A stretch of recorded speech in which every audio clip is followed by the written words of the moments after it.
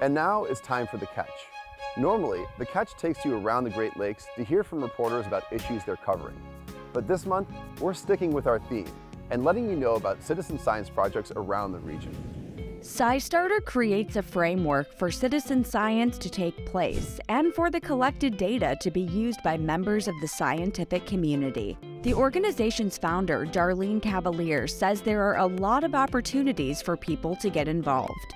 It's important to note that citizen science is as broad as science is. So basically, from we say astronomy to zoology, that's the range of projects that are in SciStarter.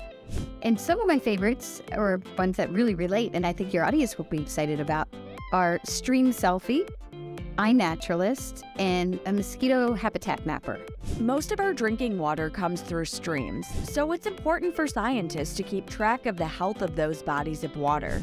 Darlene says Stream Selfie is a simple and fun way for people to get involved in building a national map of streams. Take a selfie of yourself or your dog. You'll see some interesting creative ways that people are participating in this, as long as the stream is in the picture. And that automatically gets information from your cell phone that maps that location, so you don't have to do much more than that, except answer a couple of additional questions that tell scientists and others about the health of that water. iNaturalist is another project that involves taking pictures of the natural world and sharing those photos with scientists and other naturalists. iNaturalist software and online community can help you identify what plant and animal life you're looking at. The most important thing about iNaturalist to remember is you don't have to know what you're doing. Upload images. You could take a guess. The, the crowd will help um, make sure that your image is identified as the right species.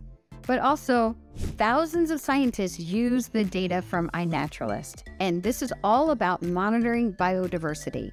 Looking for population changes in plants and animals is extremely important.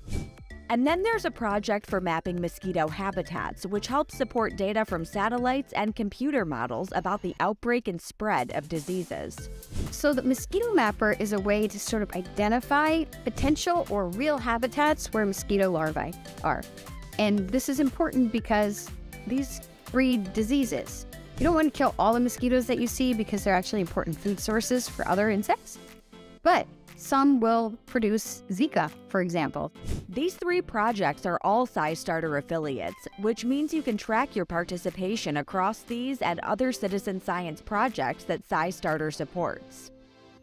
Darlene says affiliate projects also offer additional ways to get involved. Check your local library where you can look at scistarter.org forward slash library hyphen locations.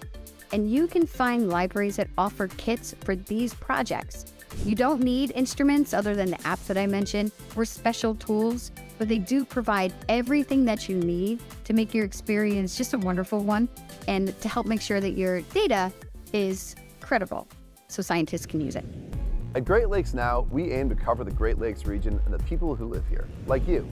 Please follow us on social media, subscribe to our YouTube channel, and sign up for our newsletter at greatlakesnow.org.